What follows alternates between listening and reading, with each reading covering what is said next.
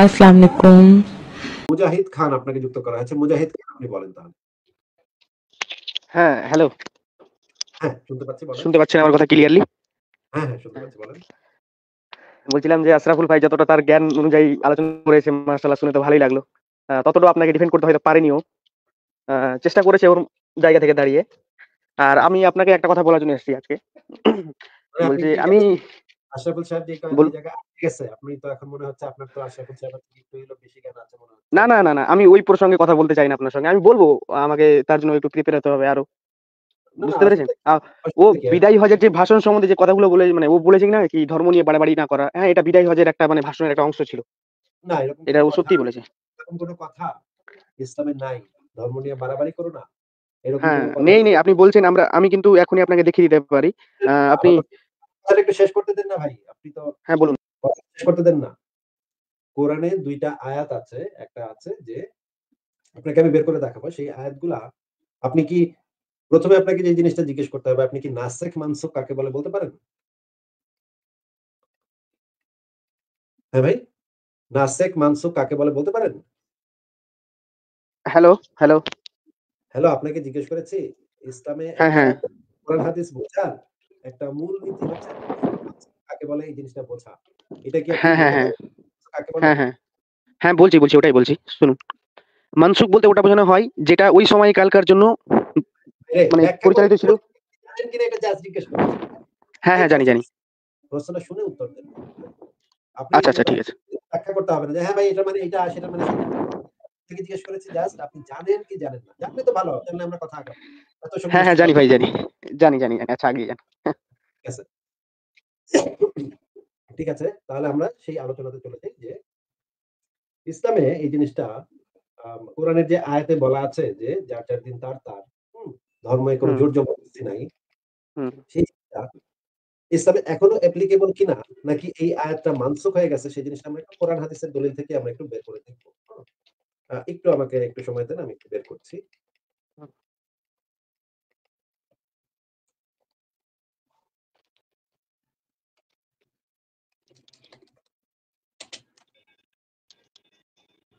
আচ্ছা আমি আপনাকে যে বই থেকে দেখাচ্ছি আপনি কি আহকামুল কোরআন বইটার নাম নিশ্চয়ই শুনেছেন আপনি? হ্যাঁ হ্যাঁ বলুন। আহকামুল কোরআন একটা অত্যন্ত বিখ্যাত গ্রন্থ। সেই বইটা থেকে আমরা সরাসরি এখন এই এই দলিলটা দেখব। আমি আপনাকে আগে বলে দিচ্ছি আহকামুল কোর- কোরআন গ্রন্থের কততম পৃষ্ঠায়।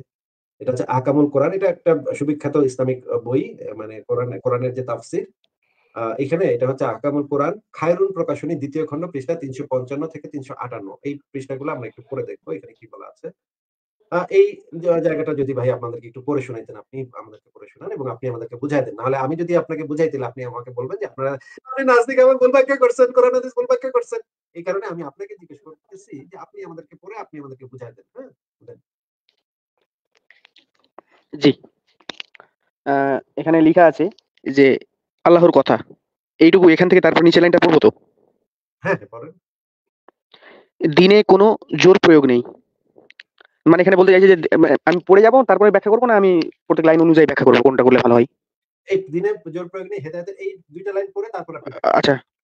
দিনে কোনো জোর প্রয়োগ নেই। হেদায়েদের পথে উমরাহি থেকে আলাদা স্পষ্ট। আচ্ছা আমার চোখে মানে অন্ধকারে দাঁড়িয়ে আছি তো একটু দেখতে অসুবিধা হচ্ছে আমার। প্রতিভাত হয়ে হ্যাঁ প্রতিভাত হয়ে উঠেছে। আচ্ছা দিনে জোর প্রয়োগ নেই মানে আমরা আমরা অতটাও জোর প্রয়োগ করতে পারব না দিন প্রচারের ক্ষেত্রে। এইটুকু এখান থেকে তাই না? হ্যাঁ, হ্যাঁ, হ্যাঁ। আয়াত। এবার তাফসিরগণ কি ব্যাখ্যা করছে ওটা দেখতে হবে। হ্যাঁ হ্যাঁ, এবার আপনি নিচের লাইনটা পড়েন। দর্জক সুদ্দি সুলাইমান ইবনে মুসা বলেছেন এই আয়াতটি মনসুখ হয়ে গেছে এই আয়াতটি দ্বারা। আচ্ছা আচ্ছা মানে কন্ট্রাডিক্টরি আয়াত? বোঝাচ্ছে হয়তো? হ্যাঁ। আয়াতটি মানসুখ হয়েছে কোন আয়াতটি মানসুখ হয়েছে? আগের আয়াতটি মানসুখ হয়েছে নাকি? হ্যাঁ হ্যাঁ। হে নবী তুমি মানে কাফির ও ভাই আমাকে একটু বুঝায় বুঝায় জানো দিনে জোর প্রয়োগ নেই। এই আয়াতটা মানসুখ হয়ে গেছে মানে রহিত হয়ে গেছে নাকি? হ্যাঁ হ্যাঁ হ্যাঁ। আর তাহলে নাসেক আয়াতটা কোনটা? মানে অ্যাপ্লিকেবল আয়াতটা কোনটা এখন দিলে? পরের আয়াতটা। পরে যেটা বলবে সেটা হ্যাঁ। হচ্ছে এখন অ্যাপ্লাই করতে হবে। ইসলামে অ্যাপ্লিকেবল আইন হবে নিচেরটা। আর আগে যে আপনি কথাটা যে আয়াতটা ছিল কোরআনের আয়াত ছিল সেটা মানসুখ মানে রহিত হয়ে গেছে নাকি ভাই? হ্যাঁ হ্যাঁ হ্যাঁ। আচ্ছা এই কথা নিষেধাজ্ঞা দহাক, সুদ্দি, সুলাইমান ইবনে মুসা এরা হচ্ছে বিখ্যাত তাবেঈ। হ্যাঁ? এরা হচ্ছে বিখ্যাত। এরা হচ্ছে অনেক তাফসীর গ্রন্থে এদের নাম পাওয়া যায়। আপনি তাফসীর গ্রন্থগুলো পড়লে পদে, পদে পৃষ্ঠায়, পৃষ্ঠায় এদের নাম পাবেন যে এরা এই ব্যাখ্যাটা এরা হচ্ছে ইসলামের সর্বোচ্চ স্কলারদের মধ্যে সবচাইতে শীর্ষে আছে। ঠিক আছে? হ্যাঁ। এখন এরা যেটা বলতেছে যে আগের আয়াতটা যে জিনের জোরাজুরি নাই, যে দিনের ভিতরে মানে ধর্মে কোনো জোর জবরদস্তি নাই।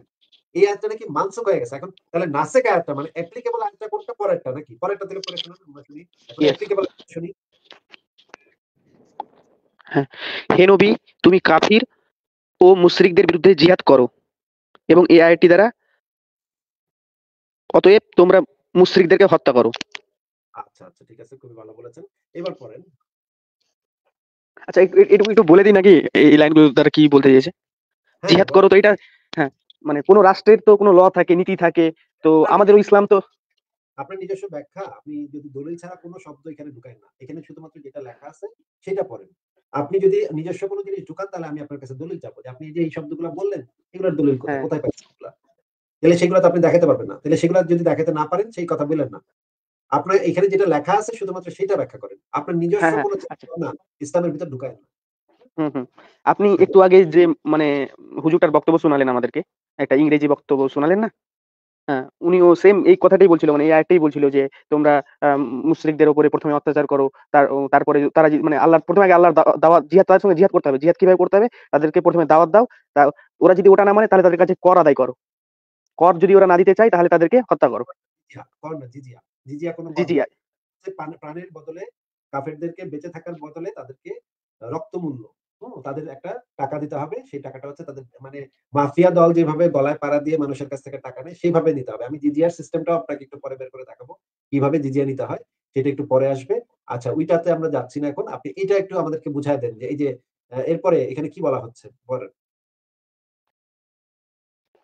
হ্যাঁ। আচ্ছা তারপরে বলছে যে আল হাসান কাতওয়াদা বলেছেন, দিনে জোর প্রয়োগ নেই। কথাটি বিশেষভাবে সেই আহালি কিতাব লোকদের বেলায় যারা জিজিয়া দিতে প্রস্তুত হবে। আরবের সাধারণ মুশরিকদের বেলায় এ কথা নয়।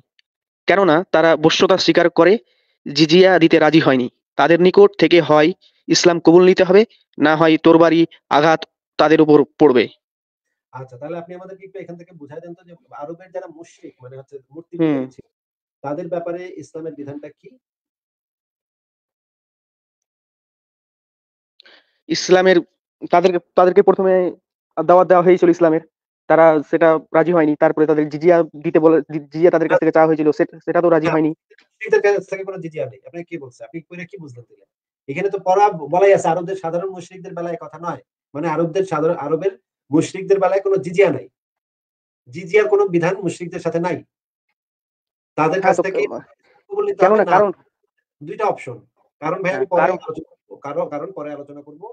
আপাতত এই সেই আলোচনা করতে গেলে অনেক দীর্ঘ হয়ে যাবে। আপনি আপনাকে আমি আরও কয়েকটা জিনিস দেখাবো তো। আপনি এই যে যেটা বলেছেন যে মানে দিনের কোনো জোরাজুরি নাই, যার, যার দিন তার, তার এগুলা যে আপনি বলেছেন, সেগুলা যে হুম। মানসুখ আয়াত এটা তো আপনাকে আমি প্রমাণ দিচ্ছি যে সেগুলো তো বাতিল হয়ে গেছে। সেই আয়াতগুলা রহিত আয়াত। সেগুলা এখন ইসলামে আর প্রযোজ্যই না। এগুলা কোরআনে আছে পড়তে হবে। কিন্তু এগুলা আপনি এপ্লাই করতে পারবেন না। এপ্লাই করতে পারবেন সূরা তওবার ৫ নম্বর এবং সূরা তওবার ৭৩ নম্বর আয়াত এবং সূরা তওবার হুম। ২৯ নম্বর আয়াত এবং সূরা আনফালের আরও কিছু আয়াত আছে। সূরা আনফালের আয়াতগুলো আমি আপনাকে দেখাবো। সেগুলো এপ্লাই করতে হবে। ইসলামে তো ওই আগের আয়াতগুলা বা ইয়া হয়ে গেছে। আচ্ছা আমি আপনাকে এখান থেকে অনেক কিছু দেখাতে পারি। ভাই ওটা এর আগেটা একটু ক্লিয়ার হলো না বলছিলাম যে এর আগের লাইনটা তো আমিও ঠিকঠাক বুঝতে পারিনি কারণ কেন না দিয়ে আবার একটা ওখানে কথা ঢুকানো রয়েছে না এখানে যেটা বলা হয়েছে যে ঠিক আছে আমি আপনাকে বলে দিচ্ছি এখানে আহলে কিতাব মানে হচ্ছে শুধুমাত্র ইহুদি নাসারাদের জন্য জিজিয়াটা প্রযোজ্য। মুশরিকদের বেলায় কোনো জিজিয়া নেই। তারা হয় ইসলাম কবুল করবে না হলে তরবারির আঘাত তাদের উপর পড়বে। একদম সোজা সাপটা কথা। তোরা ইসলাম কবুল করবি মেরে এলাম। একেবারে মাফিয়া দল যে এই কাজটা করে সে একদম এক্সাক্টলি সেই কাজ। এইটার অন্যান্য দলিল আমি আপনাকে একটু পরে বের করে দেখাবো। আমি আপনাকে এই এই জায়গার এই অংশটুকু একটু পড়ে শোনান ভাই। আগের যে লাইনটুকু ছিল সেটুকু একটু মানে খটমটে লাগল আমাকে কেননা কি মনে হচ্ছে কিছু একটা কিছুটা মিসিং রয়েছে ওখানে কিছু একটা আচ্ছা এরকম মনে হলো পরে ভিডিওগুলো তো থাকবেই ইউটিউবে আপনি করে পড়বেন এবং যা বুঝবেন। বোঝার পরে নেক্সট আচ্ছা, যদি আপনি আসতে চান তাহলে আমার দরজা তো খোলাই থাকবে। আপনি এমন তো না যে আমি আজকে লাইভ করে লাইভটা শেষ করে দিয়ে আর মানে মানে মঙ্গল গ্রহে পাড়ি জমাচ্ছি। আমাকে আর খুঁজে পাওয়া যাবে না। তা তো না। আপনি আরও ভালো করে। পড়েন। ভালো করে পড়ে আবার বোঝেন। হুম, তারপর আবারও আসেন। আবারও এসে আবারও কথা বলেন। কোনো সমস্যা নেই। যতদিন আসবেন ততদিন আমি কথা বলব। যদি আপনি সিরিয়ালটা পান। সিরিয়াল পাওয়া একটু দুষ্কর। সিরিয়াল সব সবসময় পাওয়া যায় না। কিন্তু সিরিয়াল পাইলে আপনি অবশ্যই কথা বলব। তাহলে ভাই আপনাকে একটা জিজ্ঞা জিনিস জিজ্ঞাসা করি নাকি আমি? এই যে মানে এই জিনিসটা একটু পড়ে আগে শুনান যে আপনি যে বলেছেন যে ধর্মের ব্যাপারে কোন জোরাজুরি নাই। তারা দিতে চাইবে না, তখন তাদেরকে হত্যা করো। তো এই, এই যে একটা রুলস, এই রুলস এর বাইরে কি আপনি কোনো ভালো রুলস দেখতে পান? আমার তো মনে হয় না যে এর থেকে ভালো রুলস দেখতে পাওয়া যাবে। ভাই এই সমস্ত আমি মানে আপ মানে আপনি আমাকে দেখান। মুজাহিদ সাহেব একদম না বুইঝা না যাই না, বেকুবের মতো কথাবার্তা আমার লাইফে এসে বলবেন না একদম বেকুবের মতো কথাবার্তা বলবেন। একে তো একটা বেকুবের মতো কথা বলছেন যে ধর্মে কোন জোর জবরদস্তি নাই। আমি আপনাকে বাইর করে পই, পই করে দেখাচ্ছি। সেটার জন্য আপনি কোন ধরনের সরি ফিলও করতেছেন না। যে আপনি যে একটা ভুল কথা বলছেন বা মিথ্যা কথা বলছেন। জানি না মিথ্যা বলছেন অথবা না যাই না ভুল বলছেন। এগুলোর জন্য কোন সরি ফিলিংস আপনার ভিতর থেকে আমি দেখতে পাচ্ছি না। আবার মানে পাল্টা এখন আবার আরেকটা কথা আরেকটা ইয়া শুরু করে দিচ্ছে ভালো সিচুয়েশন নাই। ভাই আপনাকে আপনি যেটা দাবি করছেন সেটার বিরুদ্ধে আমি আপনাকে এখন দলিল দেখাচ্ছি। আপনার তো শুরুতে বলা উচিত যে ভাই আমি তো ভুল, ভুল বলছিলাম। এটার জন্য আমি সরি। আচ্ছা ঠিক আছে আপনি কি বলতে চান তাহলে বলেন। এরপরে আপনার আপনার যদি দ্বিতীয় প্রশ্ন থাকে, দ্বিতীয় প্রশ্ন হিসেবে যদি আপনি এটা করতে চাইতেন তখন আমি আপনার দ্বিতীয় প্রশ্ন নিতাম। কিন্তু আপনি তো প্রথম প্রশ্নের কোন ইয়াই আমাকে দিচ্ছেন আপনাকে যে এত দলিল বের করে দেখাচ্ছি আপনার পেছনে যে আমি এত সময় নষ্ট করতেছি। মানে আমার সময়ের কোনো মূল্য আপনি দিচ্ছেন না।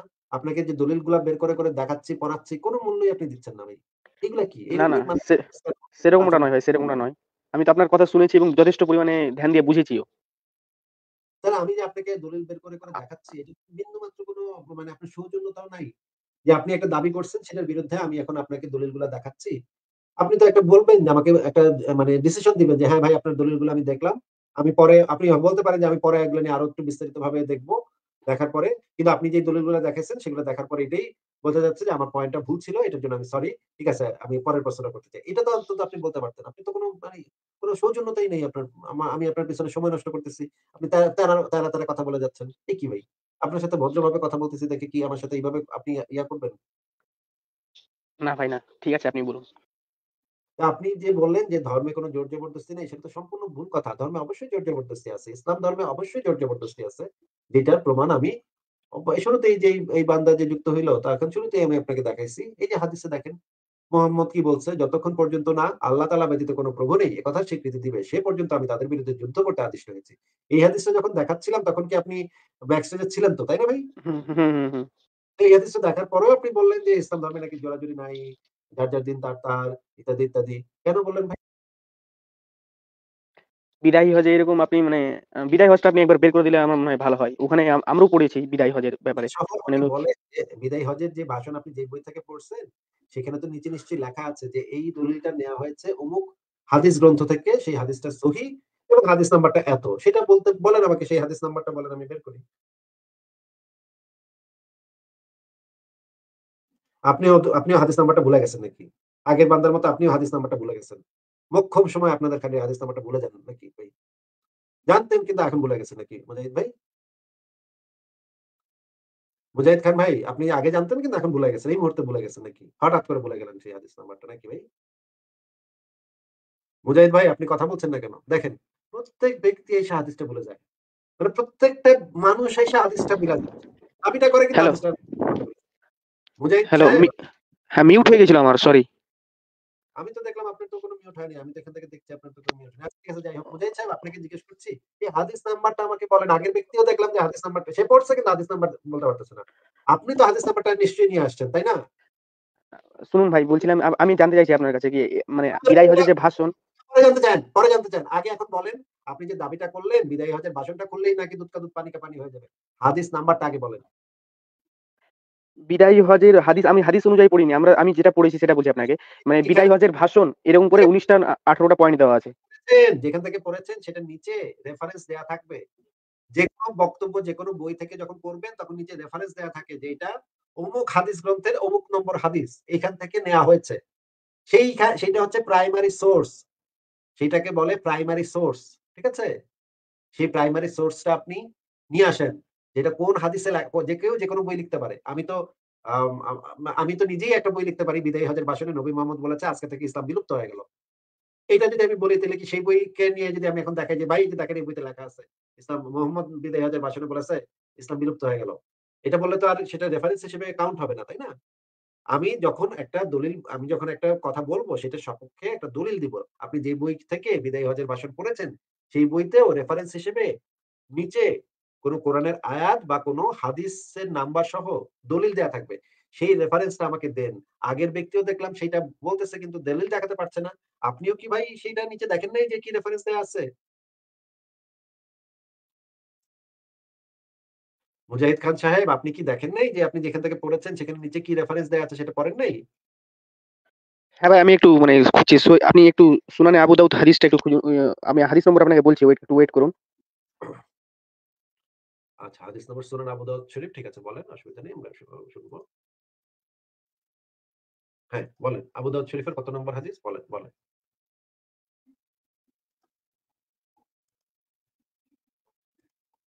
দেখি আমরা ওখানে কি বলা আছে আজকে থেকে নাকি যুদ্ধ বন্ধ করে দিল নবী।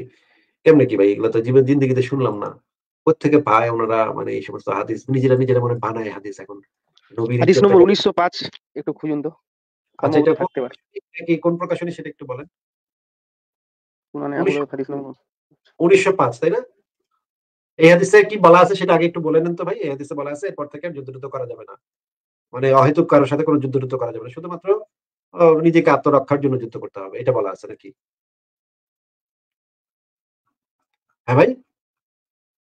আমি এখন বলতে পারছি না মানে গুগলে সার্চ মারছি তো। এখন ঠিকঠাক করে হয়তো দেখাচ্ছে না বা দেখাচ্ছেন।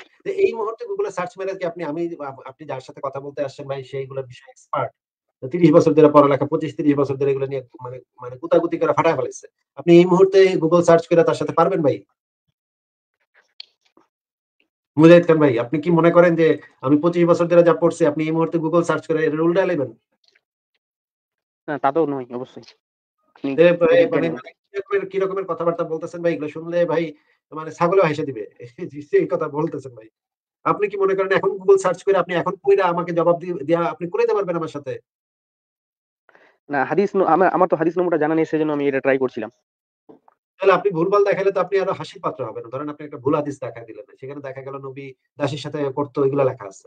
তাহলে তো এগুলো নিয়ে আরও হাসাহাসি হবে আপনাকে নিয়ে জনগণ আপনি হয়তো গুগলে সার্চ করে কিছু একটা পাইছেন। কিন্তু ভালো করে পড়েন নাই হাদিসটার ভিতরে কি আছে তখন তো একটা হাস্যরসের ব্যাপার হবে। আপনিই অপদস্থ হবেন। এই কাজ কেন করতে যাচ্ছেন ভাই? আপনি তাহলে একটু পুরো টুরা ভালো করে প্রস্তুতি নিয়ে আসেন। আপনি যখন কথা বলতে আসবেন প্রস্তুতি নিয়ে আসতে হবে না? কারণ কার সাথে কথা বলতেছেন এটা তো বুঝতে হবে। আপনি তো টঙের দোকানে কথা বলতেছেন না। হ্যাঁ হ্যাঁ অবশ্যই।